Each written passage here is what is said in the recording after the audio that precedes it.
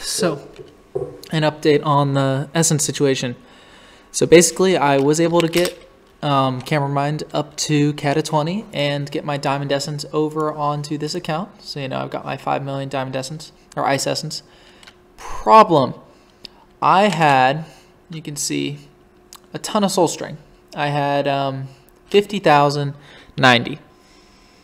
And so I canceled it, got it in my stash, um, besides the bit that was in my inventory. Here's the problem.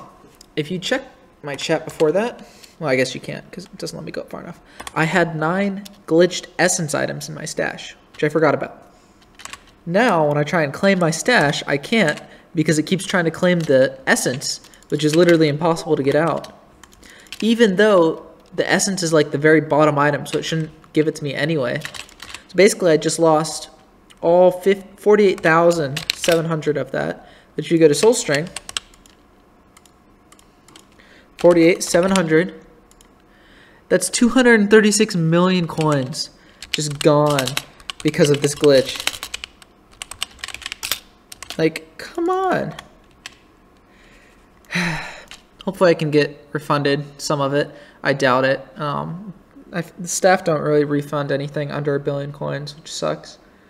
But, yeah. That's that, I guess.